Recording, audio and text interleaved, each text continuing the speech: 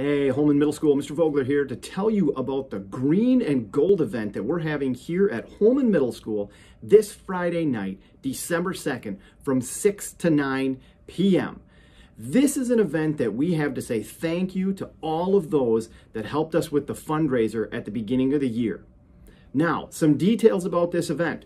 It is going to have inflatables in Gym A and in Gym B. It's going to have a DJ in the cafeteria bingo games in the choir room, and it's going to have an opportunity for snacks and things for you to purchase as well.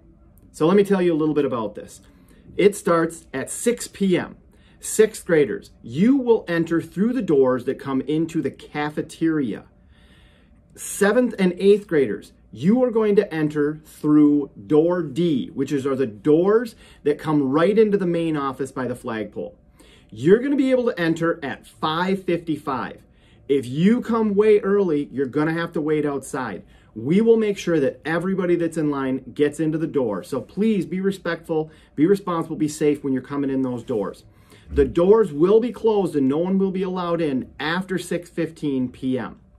Now, when you arrive, you're going to split into two lines. Those people that sold five items or more will get into one line. For selling five items, you get into the event for free. Those people that didn't sell, you still have an opportunity to come to this event. It costs $5. You will get into a different line, pay to get into the event, and then you can come in. It really helps us out if you have exact change. That helps us go that much faster.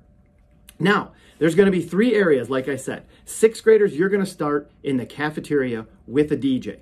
Seventh graders, you will start with the inflatables that are in Gym B and the bingo in the game room that's in the choir room.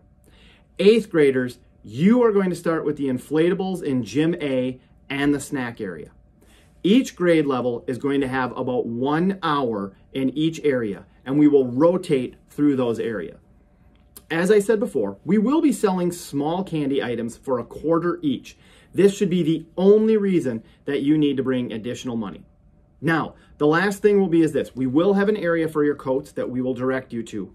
And please make sure that your parents know that they should pick you up at 9 p.m. sharp here at HMS. You can let your parents know that we will release you out of door D or the cafeteria doors in the front of the building.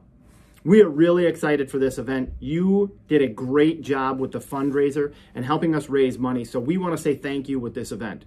So if you have any questions, please let me know, and we're looking forward to this Friday night for our Green and Gold event. Have a great time, and we'll see you there.